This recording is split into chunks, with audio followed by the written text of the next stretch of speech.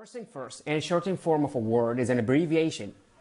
خليها قاعدة عندك أي ش... أي شيء مختصر لأي كلمة يعتبر abbreviation هذا كشكل عام. مثلا عندنا ST تنطق street هي اختصار لكلمة street. عندنا كلمة مثلا Mon اللي هي Monday تنطق Monday.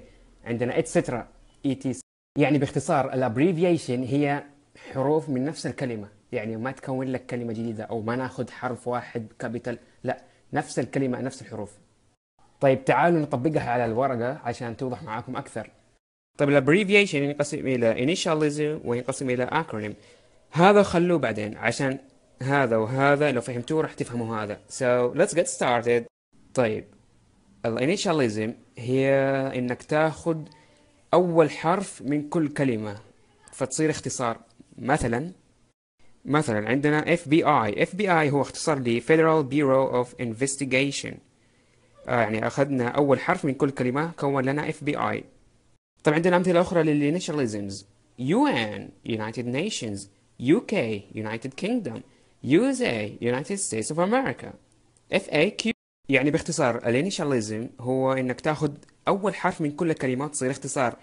ولكن لابد من نطق كل حرف على حدة. يعني ما تقول FBI لا اف بي اي يو إن. يو كي ما. ما ينصح تقول يك ين لا.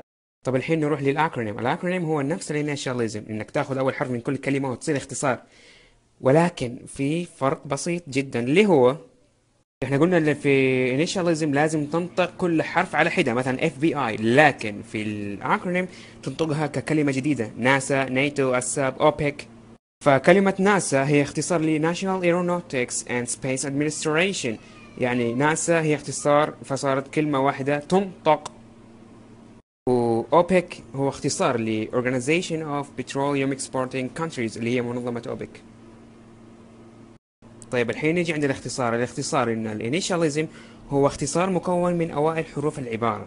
ينطق كل حرف على حدة مثال UN UK USA اما ال acronym هو نفس ال initialism لكن ينطق كأنه كلمة واحدة. مثلا ناتو ناسا اوبك الساب رادار.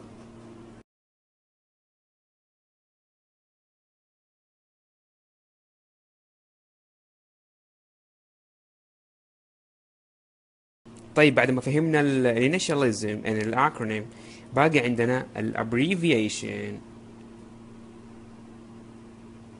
ال abbreviation هو اختصار من نفس الكلمة من نفس الحروف. يعني تم تقليصها فقط. مثلا هذه Monday October street تنطقها كلمة ما تنطق. يعني ما يمديك تقول Mon أو M أو N لا تنطقها على طول Monday October street فهذه فقط في الكتابة. أما في النطق تنطقها على طول ما تختصر. ومن هنا نستخرج قاعدة إنه كل acronym يعتبر abbreviation وليس كل abbreviation يعتبر acronym. فهمت ولا لا؟ وكل initialism يعتبر abbreviation ولكن ليس كل abbreviation يعتبر initialism. وال initialism هما abbreviation وال initialism وال acronym يعودوا إلى الأب abbreviation. يعني ال abbreviation هو الأساس يتفرع منه initialism والاكرونيم وهذول كلهم يعودوا لهذا.